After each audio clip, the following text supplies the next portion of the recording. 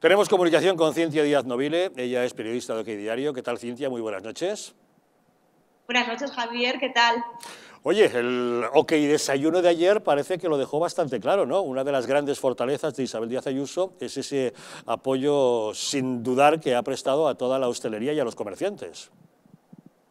Sí, de hecho los hosteleros, eh, si nos damos un paseo por Madrid, especialmente por el centro, podemos ver esos carteles en apoyo a, la candidata del Partido Popular, a Isabel Díaz Ayuso. Sobre todo, ya hemos visto incluso aquellos bares, restaurantes que les le han dedicado un plato, por ejemplo, los huevos a la Ayuso, porque dicen que es la presidenta que más huevos tiene y le han hecho un plato. Pues bueno, es cierto que Madrid ha apostado por, esas políticas económicas, ¿no? Para, en una época de pandemia, en una época de crisis, en una época en la que hay muchísima gente en el paro, eh, intentar, eh, bueno, pues que nuestra economía no decaiga. Y yo creo que gracias a esas políticas, mucha gente hoy está pudiendo llevar pan a su casa.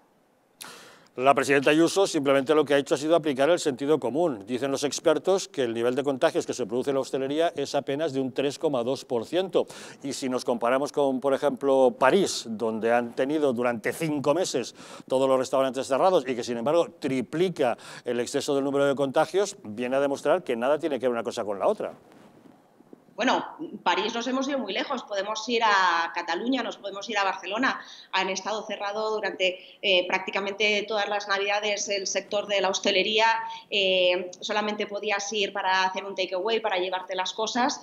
Y yo no creo que hayan descendido los casos de coronavirus. Eh, es cierto que cuando nosotros vamos a cualquier establecimiento hay unas normas muy estrictas, estemos en una terraza o estemos dentro, está limitado el número de personas que pueden estar sentadas, prácticamente, o por lo menos yo, mis experiencias, he ido a cualquier sitio y te proporcionan gel, proporcionan, incluso te miden la temperatura, porque los hosteleros son los propios y los más interesados en no cerrar.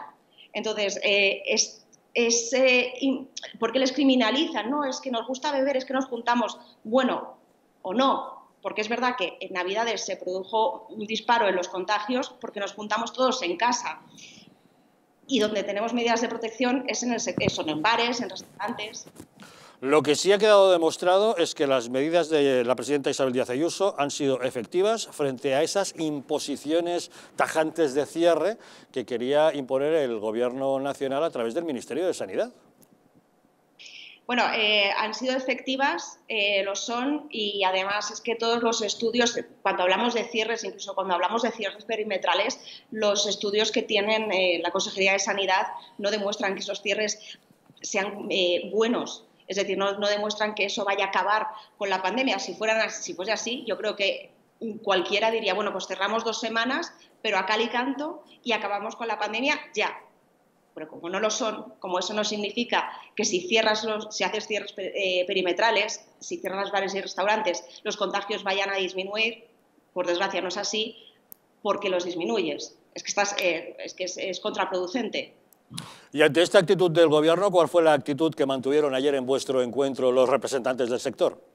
Bueno, pues eh, puedes imaginarte, Javier, muy agradecidos, por supuesto, a la presidenta de la comunidad, sobre todo porque eh, ya no es que les dejes abrir, es todo lo que significa, porque es gente que a lo mejor eh, tienen eh, empleados, ¿no? Pues todos esos empleados tienen una familia, ya no es una cosa del propio negocio, oye, pues a lo mejor yo tengo un seguro y puedo tener cerrado mi establecimiento, pero ¿y qué pasa con esta persona que lleva trabajando conmigo seis años? O con esta persona que, acaba de entrar al mercado laboral.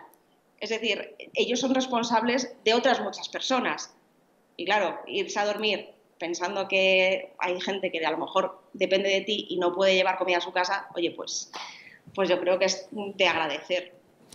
Pues Cintia Díaz Novile, enhorabuena por ese foro, por ese apoyo a la hostelería y muchas gracias por acompañarnos en Los Intocables. Gracias, Javier. Un saludo.